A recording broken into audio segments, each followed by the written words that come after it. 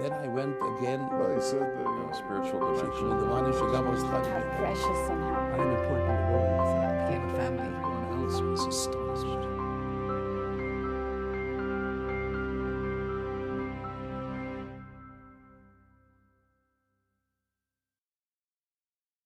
Rabbi Shabsi Alpern is the head shliach in Brazil, where he was sent by the Rebbe in 1961. In those days, when somebody went on shlichus, there weren't many people. We were mamish from the first couples. But when this came about, there was a, a very interesting ritual.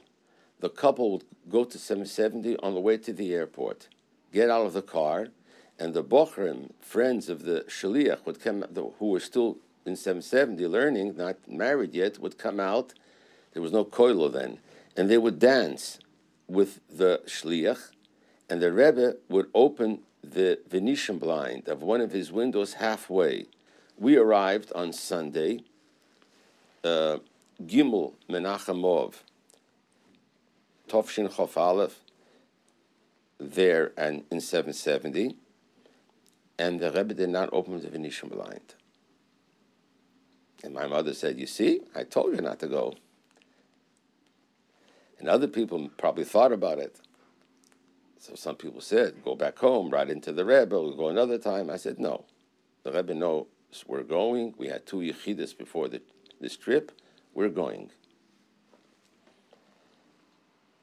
By the way, before I continue, on Shabbos, the day before, the Rebbe spoke a mimer. It's printed in the Sefer Mamorim, Tov Shin Chof Aleph, Beis Menachemov, and the last piece of the mimer has no connection with the mimer, and nobody really understood for years what this connection, what, what this piece was doing there. And uh, not not long ago, a few years ago, um, one of the people who works on the Rebbe's uh, was in Brazil, and I told him that I left that Sunday. He says, "Oh, now we know what it is." Because the last piece of that mimer says, suddenly the Rebbe says, and the main thing in Shlichus is to go away as far farther as possible. And those who go away very far, that's the kavona. And but this has no connection whatsoever to the mimer. That, that's why the mimer finishes. And they never knew what it meant and why.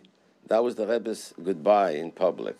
So going back to that Sunday, the Rebbe didn't come out. I said, no, we're going to the airport. In those days, there were no direct flights to Brazil. You would take one flight to Venezuela, to Caracas, sleep overnight, and take another flight to Brazil. The company which took us to Caracas was Sabena. It still exists, a Belgium airline.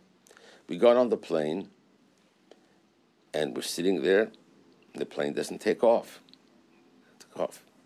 After a long time, the pilot says, one of the engines has burnt out, and since we're not an American company, we have to have a new engine that has to come from Brussels.